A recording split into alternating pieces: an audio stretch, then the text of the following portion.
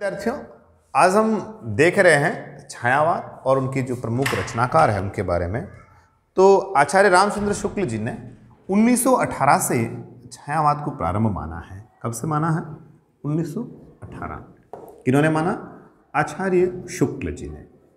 प्यारे विद्यार्थियों, हम देखेंगे कि उस समय जूही की कली नामक जो रचना है, वो आ चुकी थी, पल्लव भी आ चुकी थी, और इन रचनाओं ने इस छायावाद का जो एक ट्रेंड था, उसके ऊपर चलना शुरू कर दिया था।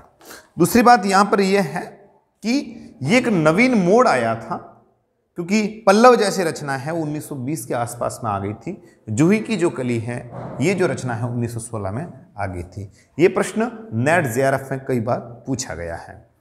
इस काल में अनुभूति की तीव्रता थी सबसे बड़ी विशेषता है अनुभूति की तीव्रता फीलिंग्स को समझना और वो भी तीव्रता के साथ।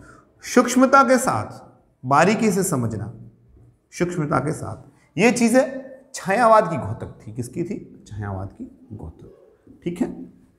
और अलग बात यह है कि इस छायावाद के जो स्तंभ है, वो चार जनों को माना जाता है, जिसमें एक महिला भी है, जिनका नाम है महादेवी वर्मा। क्या नाम है?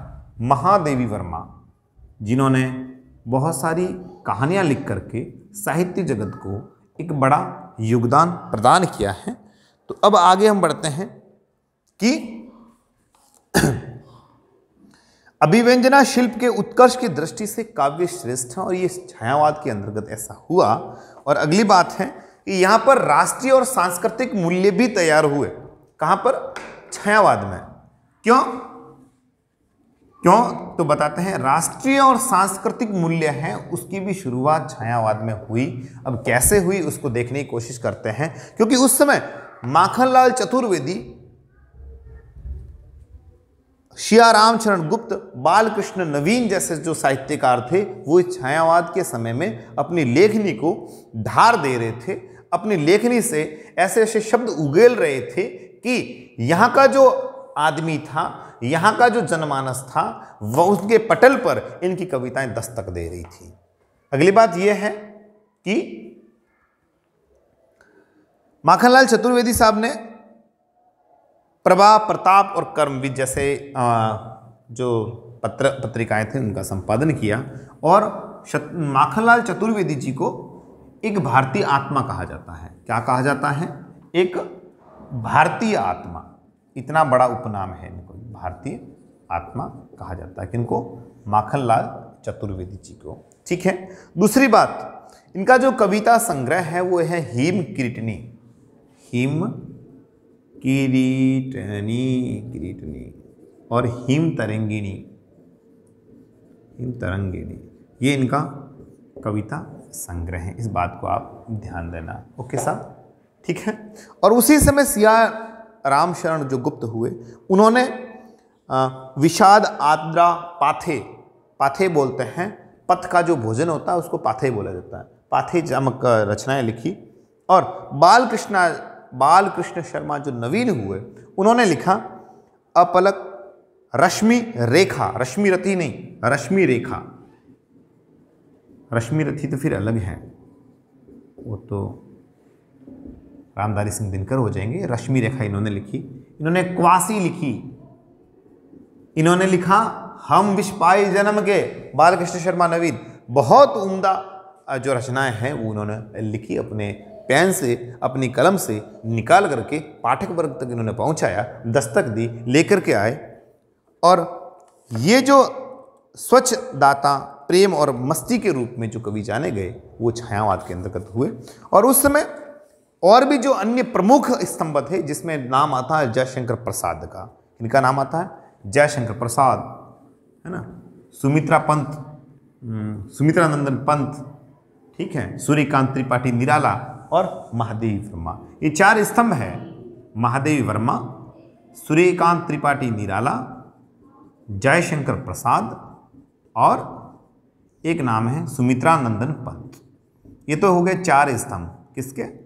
छायावाद के। स्तंभ का मतलब खूंटा नहीं बता के ऑपरे थोबलियाँ थोबलियाँ चार और उसमें से ये ये होगी तिकड़ी और ये एकमात्र महिला थी इन स्तंभों के अंदर का। ठीक है सर आगे बढ़ते हैं।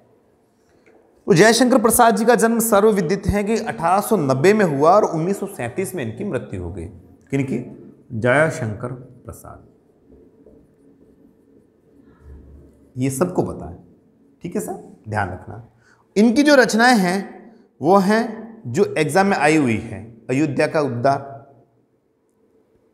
कानन कुसुम 1913 कानन कुसुम। कानन का मतलब जंगल। कुसुम यानी फूल, जंगल का फूल। 1913 में इनकी रचना आई। आँसू 1924 ये मेरा जो प्रश्न था, जो गत नेट हुआ, उसके अंतर्गत आया था। आँसू, झरना, महाराणा का महत्व। ये इनकी रचनाएँ थी।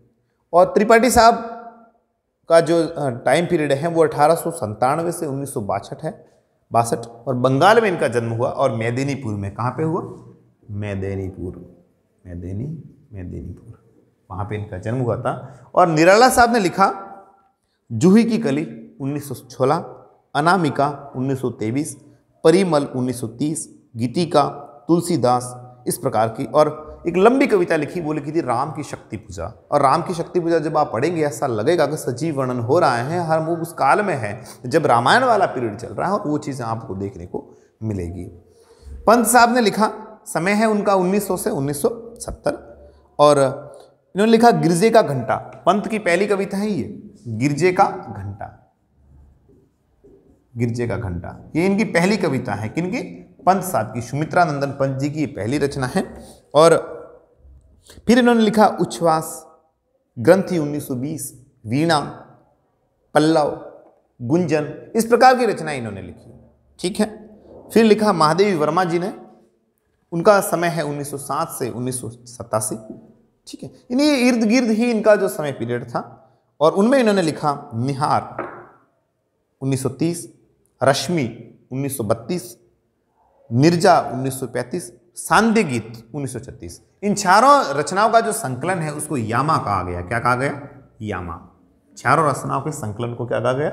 यामा कहा गया। और उस यामा पर इनको पुरस्कार भी मिला, पारितोषिक भी मिला। तो ये थे छायावाद की प्रमुख रचनाकार। छायावाद की कुछ प्रमुख प्रमुख बातें। और इसके बारे में हमने पढ़ा। वीडियो किस प्रकार से लगा? कमेंट बॉक्स में ज़रूर राय दीजिएगा। फ़िलहाल मैं भरत कोराना लेता हूँ विदा। शुक्रिया। शबा खैर